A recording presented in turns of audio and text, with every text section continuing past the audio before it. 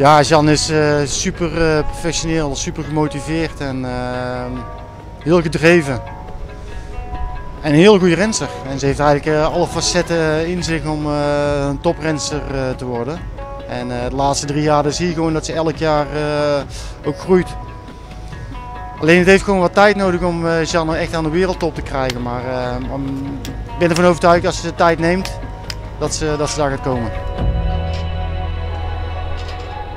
Eigenlijk ben ik elk jaar wel uh, een stukje beter geworden en uh, ben ik er elk jaar weer iets meer voor gaan doen en meer voor mijn sport gaan leven eigenlijk. En, uh, ik heb er altijd in geloofd dat ik, dat ik de kan bereiken. En ja, uiteindelijk ben je jong, dus dan weet je dat je ook gewoon jezelf de tijd moet gunnen om, om die aansluiting te maken. En nou ja, vorig jaar viel alles gewoon op zijn plek en dan, ja, dan, dan sta je er opeens dichterbij.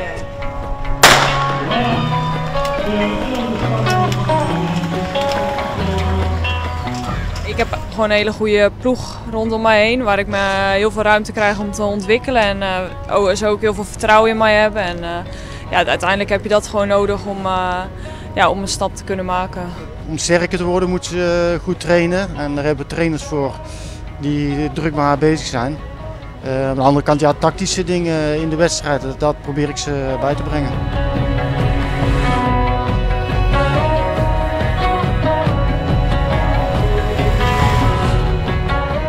Chantal Blaak, de Nederlandse kampioen, Anna wereldkampioen, ja, die, die zie je wel allemaal om je heen. Uh, en uh, komen, komen in de media natuurlijk ook heel veel voor. En ja, dat, dat, daar droom je zelf uiteindelijk ook van. Dus het is misschien lastig als jonge renster om dan ja, naar kampioenschap te gaan of dergelijke. Omdat het niveau gewoon heel hoog is om daarbij aan te sluiten. Maar het motiveert ook om, ja, om jezelf beter te worden.